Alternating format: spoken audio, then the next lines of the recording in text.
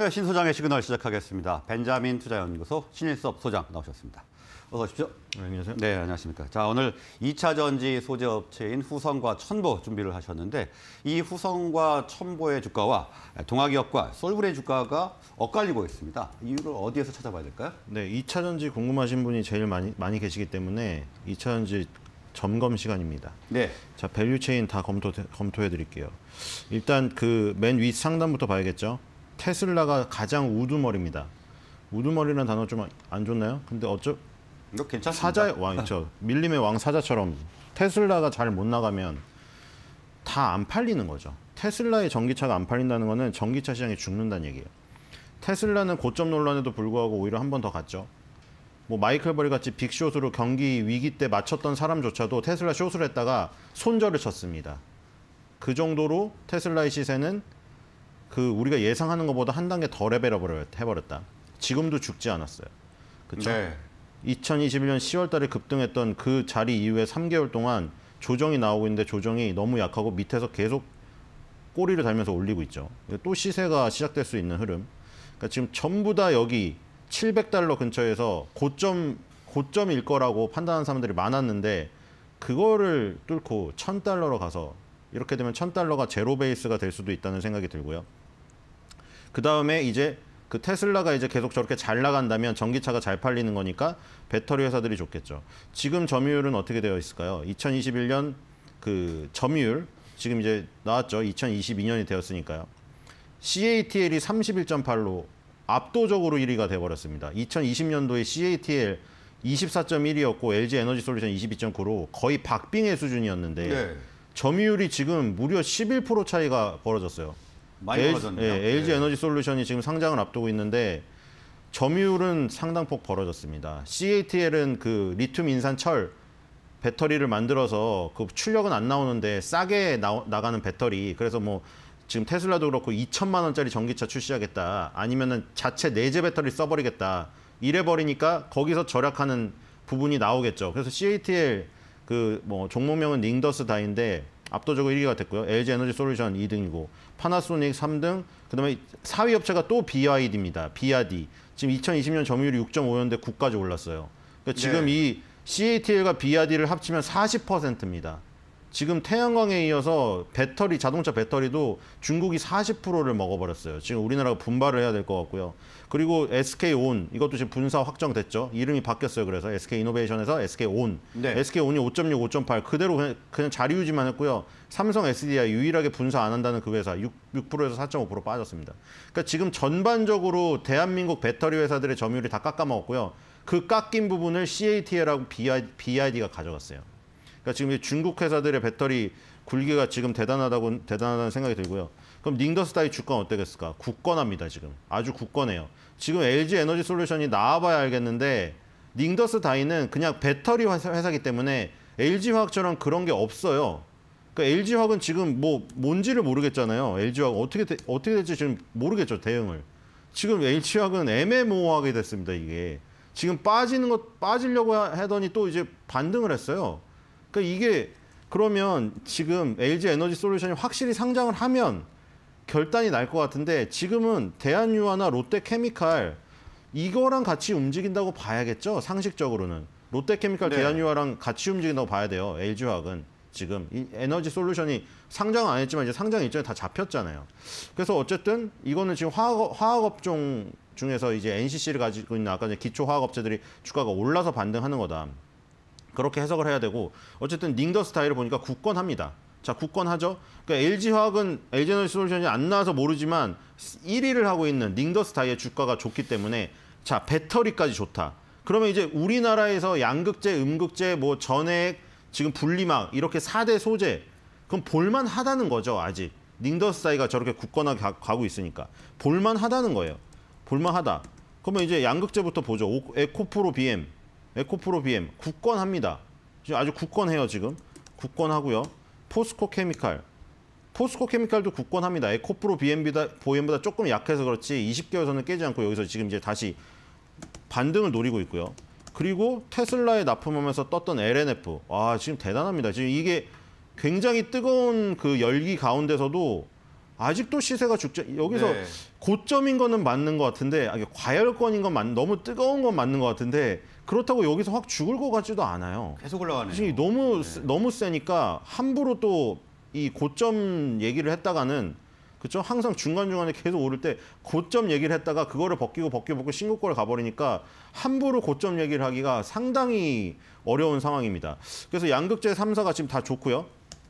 그럼 이제 그 양극재에서 플러스극에서 이제 포, 투수라고 생각하시면 돼요. 플러스극에서 던지면 그거를 받아주 리튬 리튬 그 리튬을 던지면 이 마이너스 극에서 포수가 받아줘야 돼요. 그 음극재를 만드는 대주전자재료. 대주전자재료도 급 저기 이쪽 과열권이긴 하지만 시세가 또 죽지가 않았죠. 지금 2차 전지 소재가 다 죽지가 않았어요. 그리고 그 양극하고 음극에 박을 붙여주는 접착제 역할을 하는 바인더를 만든다거나 아니면 아까 저기 그 대주전자재료가 실리콘 음극재를 만들 때 실리콘 음극재를 만드는데 팽창돼서 터질까봐 그거를 잡아주는 거를 만드는 나노신소재 이것도 죽지가 않았어요. 이것도 네. 죽지가 않았고요.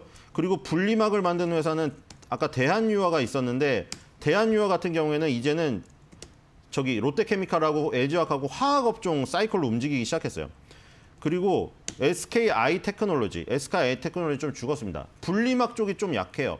그 다음에 이제 4대 소재 중에 하나 남았죠. 4대 소재 중에 하나, 전의 액. 전의 액을 할, 전의 액에 들어가는 첨가제를 오늘 할 건데, 전의 액과 전의, 전의, 전의 액 첨가제, 한, 하나로 지금 묶어서 봐야 되기 때문에, 전의 액을 볼게요, 일단. 솔브레인이랑 엔캠, 이게 전의 액을 만드는 회사입니다. 이게 전에 액을 만드는 회사고 그리고 동아기업이 있는데 동아기업은 자연마루를 만들어요. 자연마루를 만드는데 이 아래 동아 일렉트로라는 그 자회사를 통해서 하는 거예요. 그러니까 동화기업의 자회사 그리고 엔캠, 솔브레인이 전해액을 만든다. 자, 전해액은 뭔가? 삼성 SDI가 이제 그 배터리를 만드니까 삼성 SDI 같은데 블로그 삼성전자나 하이닉스 반도체를 아시려면 삼성전자 하이닉스 들어가면 삼성전자 SK 하이닉스 반도체 이야기라고 해서 잘 되어 있어요. 이 배터리도 마찬가지죠. 삼성 SDI를 들어가요. 그럼 삼성 SDI 그림을 잘 그려놨죠. 여기에 이제 플러스 극하고 마이너스 극이 있어요. 플러스 극에는 뭐 LCO라고 리튬, 코발트, 산화물이 있고 여기 C 여긴 흑연으로 되어 있죠. 아까 전에 대주전자 재료는 뭘 하는 거다?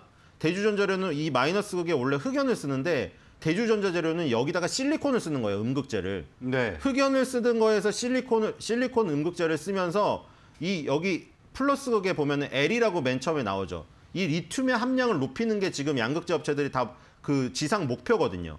그래서 네. 예, 그래서 이 리튬의 함량을 높이면 아 이거 high nickel이죠. 니켈의 함량을 높이면 여기서 이쪽으로 쏴주면 흑연이 받아주는 것보다 실리콘이 받아주는 게 더 좋아요. 그래서 대주전자재료는 그걸 하는 거고 여기 밑에 보면은 양극에서 리튬 이온들이 막 떠다닙니다. 그래서 전해액이라는 이 수영장이에요.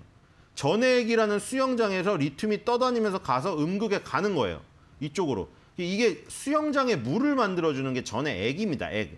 전해액. 그 수영장에 물을 만들어주는 게 누구냐면 셀브, 솔브레인, 엔캠 그리고 동화기업의 자회사.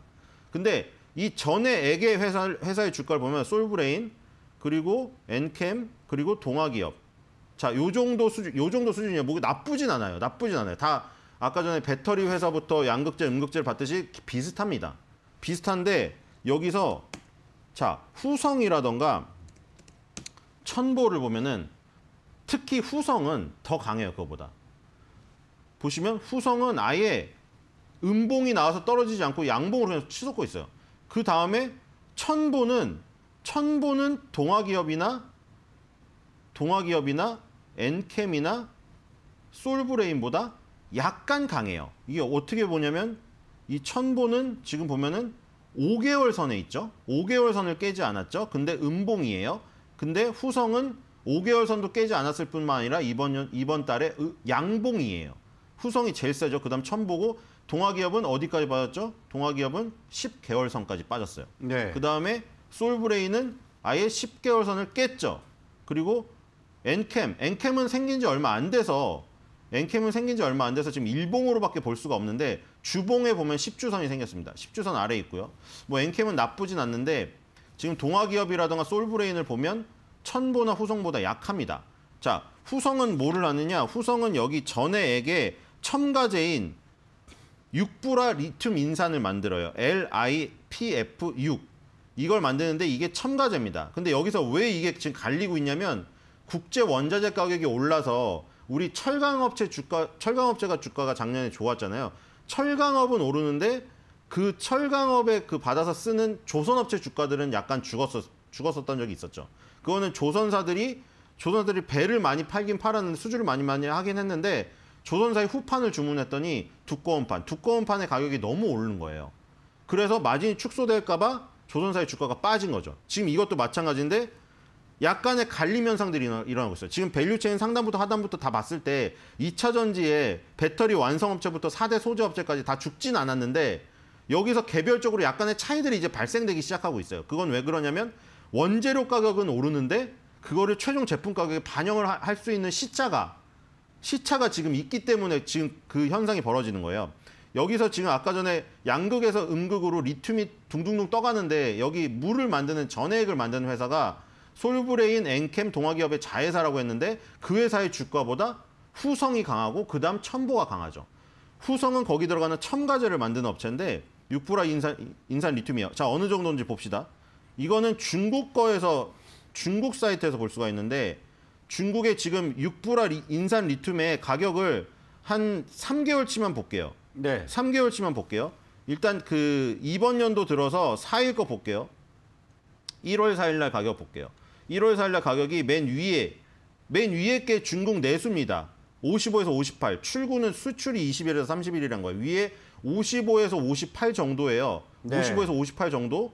55에서 58 정도가 올해 1월이에요. 그러면 한 뭐 3개월치를 보고 그 시계열로 보죠, 우리가. 조금 더 뒤로 가서 한 작년 11월 달 거 정도로 볼게요. 이게 거의 매일 매일 그냥 뭐 마치 그 가락동 농수산물 시장의 시세처럼 매일 나옵니다. 그래서 매일 나오기 때문에 매일의 변화는 시계열을 그 보기가 힘들잖아요. 그냥 몇 달의 흐름으로 보세요. 11월 달에도 변화가 없었고 조금 더 갈게요. 조금 더. 조금 더 가면은 이제 작년 작년 한 뭐 여름이나 이때부터 가을 겨울로 접어들면서 그때 변화가 심하게 나타납니다. 자, 이거 10월 달입니다. 10월 22일입니다. 10월 20 아까 올해 1월 달 거 봤죠? 55에서 58이었죠. 이때 10월 달에 50에서 55였습니다. 네. 50에서 55였어요. 자, 한 번만 더 볼게요. 10월 달 거 봤으니까 대충 한 여름으로 갈게요. 쭉쭉 가요. 쭉쭉 가. 이게 매일 나오기 때문에 이게 계속 있습니다. 계속 있어서 계속 다음으로 가요. 계속 다음으로 가주세요. 이거 IC 배터리 닷컴이라는 겁니다. 그 8월 달 정도 가면은 보일 수 있겠죠. 8월 달에 얘가 번역을 빨리 해줘야 되는데 번역이 지금 저를 못 따라가고 있습니다. 네. 네, 지금 8월 달에 이게 육자였나? 이게 육자군요. 자, 육자는 압니다. 한자를 잘 모르는데 육자는 알아요. 그래서 이렇게 육자로 때려 맞췄어요. 자, 육 육자. 어, 너무 너무 제가 많이 펴 가지고 버퍼링이 걸리고 있어요. 이거 하나만 보면 되는데 지금 이게 8월 30일 겁니다. 8월 네. 30일. 아까 전에 올해 1월 달에 55, 58이었고 작년 10월 달에 50에서 55였고 자, 여기 보시죠. 40에서 46이었습니다. 아, 네. 8월 달에. 그러니까 그 전 더 전 것도 지금 뭐 시간 관계상 그것까지 할 필요 할 시간 없는데 8월 달부터 올해 1월 달 정도까지 지금 봤죠. 40, 46, 50, 55, 55, 58. 육부라 인산 리튬의 가격이 계속 오르고 있어요. 그러면 이 지금 전의 액, 전의 액이 뭔지는 아까 이제 아셨죠? 여기 전의 액은 수영장에 물을 만드는 거다. 근데 수영장의 물에 이 전의 액에 첨가제를 넣어야 되는데 그게 리튬염이고 리튬염의 대표적인 게 육부라 인산 리튬입니다. 여기 전의 액에 보시면 리튬염, 유기용매, 첨가제 요 3요소로 구성되어 있어요. 전의 액은. 근데 리튬염은 뭐하냐? 리튬 이온의 이동 통로예요. 근데 이동 통로를 만들어주는 곳에서 가장 많이 쓰이는 게 뭐다? 후성이 만드는 LiPF6 리튬 인산 불소로 구성, 구성된 리튬 인산 리튬 그거예요. 육불화인산리튬이에요. 이게 리튬 이온의 이온의 이동 통로를 만드는 거고요. 그 다음에 이 염을 녹여줘야 돼요. 염을 용해시켜주는 액체가 유기용매입니다. 그리고 3요소의 세 번째, 그것은 첨가제입니다. 이 첨가제는 뭐냐면 양극이나 음극 표, 표면의 보호막을 형성하는 역할을 해요. 그래서 이 전해액은 이렇게 3대 요소로 이루어져 있는데 이 중에 가장 중요한 게 리튬 이온의 이동 통로를 만들어주는 리튬 염, 염이고 가장 여기서 많이 쓰이는 게 LiPF6 이거는 유일하게 후성만 생산을 합니다. 근데 네. 아까 보시다시피 육부라 인산 리튬 가격이 계속 오르고 있죠. 그러면은 이거를 받아서 이 오르는 가격의 리튬염인 육불화인산리튬을 받아서 전해액을 생산하는 아까 전에 누구였죠? 엔켐 그리고 동화기업의 자회사 솔브레인 회사는 자기네가 이 전해액의 그 가격을 육불화인산리튬 가격을 전, 전가시켜서 올려서 배터리 회사에 납품하지 못하면 지금 마진이 축소된 상태겠죠. 그러니까 지금 단기적으로는 갈릴 수가 있는 거예요. 그래서 그러면은 천보는 뭐냐? 그럼 천보는 뭐냐? 후성이 아까 전에 육부라 인산 리튬을 유일하게 생산한다고 했잖아요. 네. 근데 천보는 뭐를 개발했냐면 이 육부라 인산 리튬을 후성만 유일하게 생산하다 보니 후성에 너무 매달리고 있어서 이 천보는 이걸 대체할 수 있는 물질을 개발했어요. 그게 F 전해질이에요. LiFSI. F 전해질을 개발해서 후성이 유일하게 만드는 LiPF6을 대체할 수 있는 물질을 개발한 거예요. 그래서 천보도 역시 전해 액, 그 4대 소재, 배터리 4대 소재의 전해 액 중에 그 아까 리튬 연 부분 있죠. 전자 이온의 그 이동 통로를 만드는 리튬 연 부분에 육부라 인산 리튬 하나만 있었는데 그거를 대체하는 물질인 F 전해질을 만든 거예요. 그러니까 이제는 두 개가 생긴 거죠. 전해액, 배터리 4대 소재, 양극재, 음극재, 분리막 전해액 중에 전해액에 해당되는 부분으로 우리가 포커스를 맞추면 그 전해액에서 3대 요소 중에 이동 통로를 만들어주는 리튬염이 제일 중요한데 거기에 육부라 인산 리튬만 유일하게 하나만 있었는데 이제 첨보 F 전해질도 생기게 된 거죠. 그러다 보니까 대체제 혹은 경쟁자로서 여기 등장을 한 거예요. 첨보가.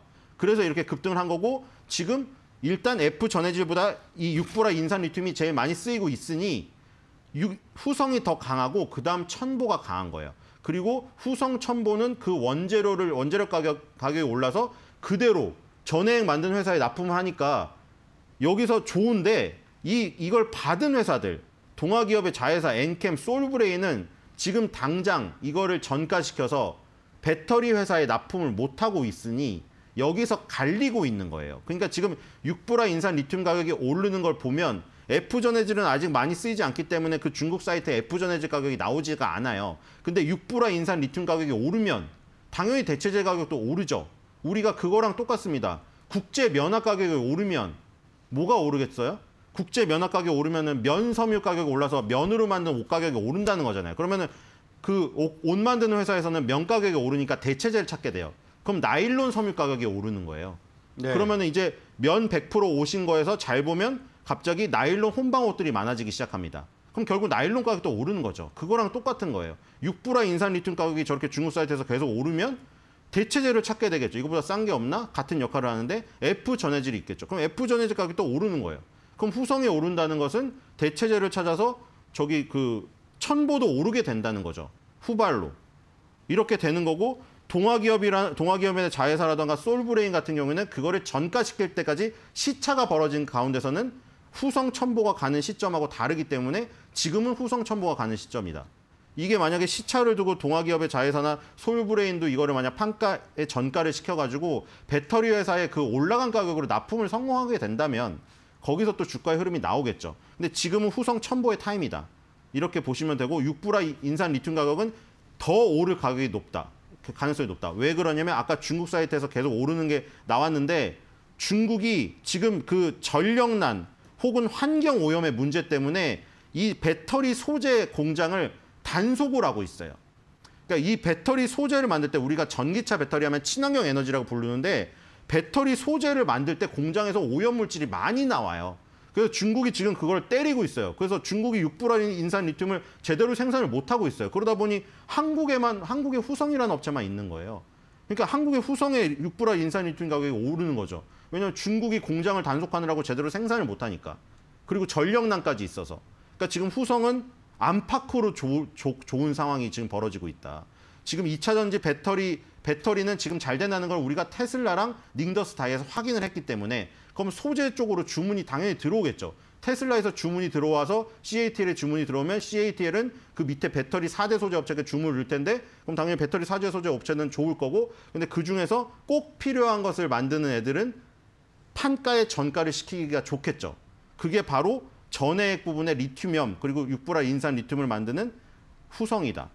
그래서 지금 후성의 강세가 조금 더 진행될 가능성이 높고 나머지 전해액을 만드는 회사는 조금 더 시간이 필요하다. 이 시간차를 이용해서 지금 후성을 한 다음에 후성에서 수익을 얻- 얻어서 조금 시차를 두고 전해액 쪽으로 밀려갈 때 솔브레인, 동화기업의 자회사, 엔켐 이런 거를 후발로 공략해 보면 좋을 것 같습니다. 네, 자 그런 이유가 있어서 주가가 갈렸던 거군요. 먼저 후성의 시간, 그다음에 천보, 그다음에 솔브레인 뭐 동화기업으로 어, 매수를 해보면 좋은 결과 나올 것 같다 이렇게 말씀을 해주셨는데요. 그럼 후성과 첨보의 주가 흐름이랑 가격 전략 한번 알아볼까요? 네, 2차 전지가 아까 LNF에서 보시, 보시다시피 뭐 갈 거 갈거 같지도 않은데 죽을 거 같지도 않고 과열권인데 참 애매해요. 가지고 계신 분들은 정말 행복하죠.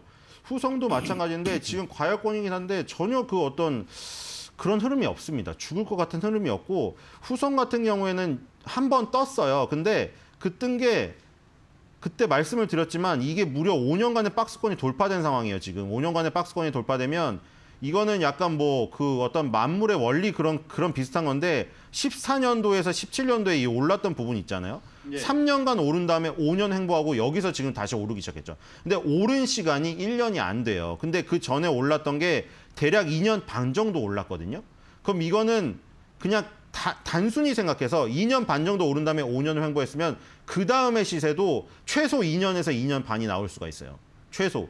근데 지금 나온 게 1년도 나오지가 않았거든요. 그러니까 단지 이 단기간의 과열 이격만 있을 뿐이지 이 시세가 나온 기간이 지금 너무 짧다. 그러니까 최소한 2년 정도 나온다고 봤을 때 아직은 1년 정도의 흐름이 더 나올 가능성이 있다. 그렇게 본다면 지금 여기 뭐 밑바 박스권 돌파할 때 빨리 못 사신 분들이라도 이 지금 1년간의 흐름이 더 남아 있다는 걸 생각한다면 아직 먹을 부분이 그 뒤늦게 들어온 사람도 꽤 있다고 보시면 될 것 같습니다. 그래서 뭐 요게 과열권이라서 조금 그렇다고 하시는 분은 조금 죽을 때 하던가 아니면 이게 아- 안 죽고 가면 어쩔 수가 없어요. 안 죽고 가면 어쩔 수가 없고 그러면 그 다음은 이 육부라 인산 리튬을 대체할 수 있는 걸 만든 F전해지를 만든 천보를 노려봐야죠. 천보는 일단 조정이 나오고 있죠. 이게 만약에 10개월 선까지 와주면 더 좋고 만약에 안아준다고 하면 이 지금 RSI 고점 여기 조금 이따 이 70 밑으로 내려올 거예요. 그래서 조정이 조금 더 나오면 네. 그 조금 더 나오는 그 순간에 그 순간에 그쯤에서 사보세요. 20, 30만 원이 살짝 깨져도 좋아요. 29만 원 그런 후반대에서 3자가 바뀌었을 때, 2자로 바뀌었을 때 29만 원 후반대 그 정도에서 한번 사보는 게 좋을 것 같습니다. 네, 일단 후성은 아직 상승 흐름이 남아 있다 이렇게 분석을 해주셨고 첨보도 29만 원 후반대 사시면 아, 좋은 수익을 얻을 수 있을 것 같다 이렇게 분석을 해주셨습니다. 오늘 말씀은 여기까지 듣도록 하겠습니다. 고맙습니다.